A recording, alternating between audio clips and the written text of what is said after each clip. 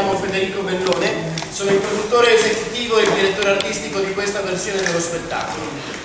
Allora, benvenuti, grazie infinite di essere qui oggi alla nostra conferenza stampa.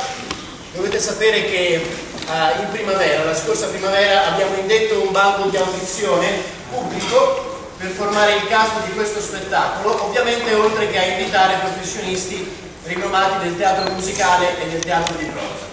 Abbiamo visto, abbiamo esaminato 1147 candidati singolarmente, uno dopo, dopo l'altro, grazie al nostro team italiano di supporto formato da Simone Leonardi, dove sei Simone?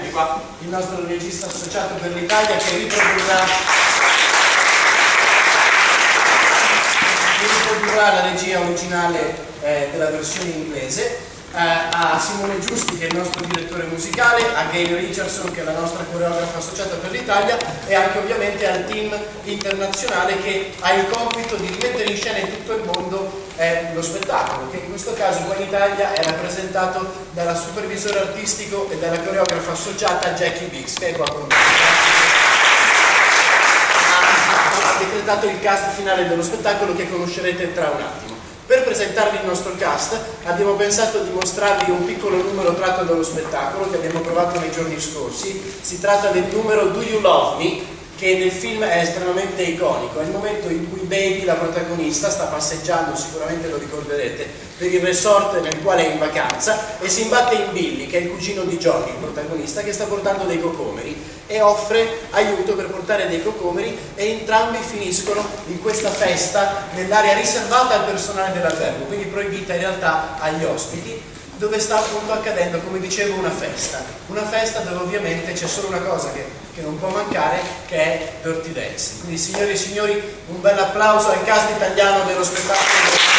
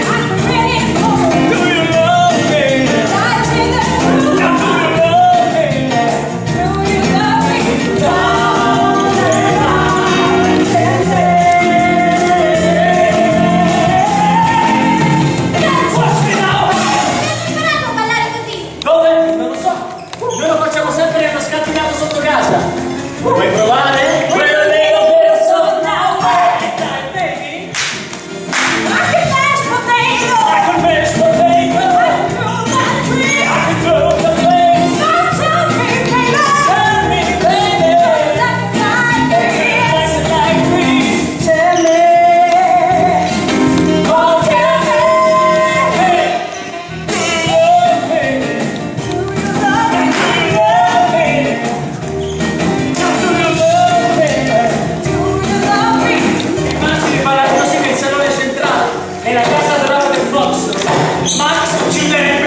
around.